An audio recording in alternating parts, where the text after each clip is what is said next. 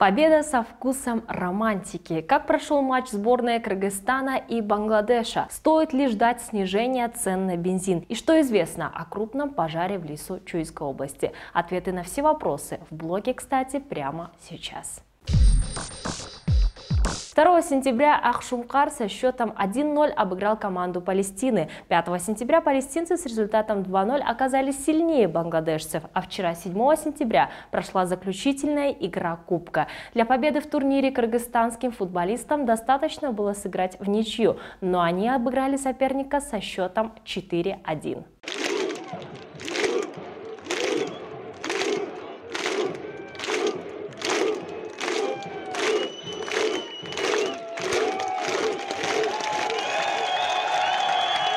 Ой сілер нақта чыныгы кыргыздын жигиттерисиңер На стадионе во время матча между кыргызстанцами и бангладешцами было сделано предложение руки и сердца. В конце первого тайма на восточной трибуне был развернут огромный плакат с надписью «Джибек, ты выйдешь за меня». Михаил Владимирович, что же за предложения такие? Вы, пожалуйста, следите за словами. Болельщики начали скандировать имя Джибек. Девушка смотрела матч с западной трибуны. Джибек согласилась выйти замуж. Слушай, а ловко ты это придумал. Так сборная Кыргызстана стала победителем Кубка трех наций. Товарищеский клуб проводился в Бишкеке в рамках подготовки к отборному этапу Кубка Азии 2023. В социальных сетях кыргызстанского сегмента активно распространяется видео, на котором мужчина очень эмоционально реагирует на повышение цен на ГСМ. Я понимаю, если везде было бы. В Казахстане точно такие же цены, как и были 2-3 года тому назад. В России дешевле в половину. И до какого еще нам блядь, ждать, что будут цены расти? Предпринимайте меры. В частности, он выражает недовольство в адрес властей, которые не предпринимают определенных действий, чтобы цены на ГСМ не росли. В качестве примера мужчина приводит Казахстан, где цены на топливо не растут последние несколько лет, а в России бензин стоит в два раза дешевле.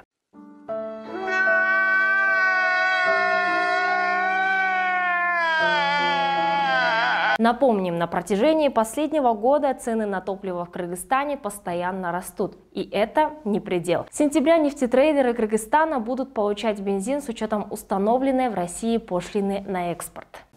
Да нет, конечно. Сегодня, 8 сентября, в эфире Беренчи радио исполнительный директор Ассоциации нефтетрейдеров Кыргызстана Канатбек Эшатов заявил, что рост цен на бензин в рамках ЭС коснулся в первую очередь Кыргызстана и Армении из-за того, что страны не производят ГСМ и зависят от импорта. Спасибо, друг, так мне все понятно объяснил. Что касается импорта бензина в Кыргызстан, то уже четвертый год правительства Казахстана и Кыргызстана обсуждают заключение соглашения о беспошлиной поставке ГСМ из Казахстана, но оно до сих пор не подписано. Давай решать, Мурат. Брат Марата, сват Салавата. Давай, Ренат, а то решат и Рашид сами ничего не решат. Если решат и Рашид не решат, то кто решит? Я решит. Ты решит. Я решит.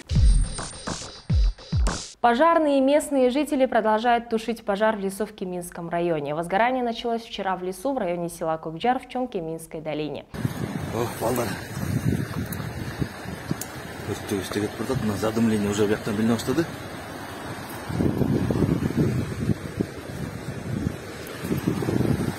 К тушению огня привлекли пожарных, сотрудников службы лесного хозяйства и даже местных жителей. Накануне в МЧС сообщили, что общая площадь возгорания около 40 гектаров. Сегодня в министерстве сообщили, что пожар вспыхнул в сосновых и можжевеловых барах. В МЧС отметили, что пожар возник из-за халатности и равнодушия людей. Убирайтесь вон! Подлость, гадость, преступники! Ненавижу вас! Негодяй! Тушение пожаров в этих суровых условиях требует больших усилий. Спасателям приходится преодолевать десятки километров пешком. Из-за засухи лесные и горные склоны пересыхают, тем самым повышается риск возникновения пожаров. Просим соблюдать пожарную безопасность. В противном случае даже небольшой огонь может перерасти в стихийное бедствие. Мы также будем очень осторожными и будем беречь друг друга. На сегодня у меня все. Не забывайте оставлять свои мнения в комментариях. Это будет, как всегда, кстати.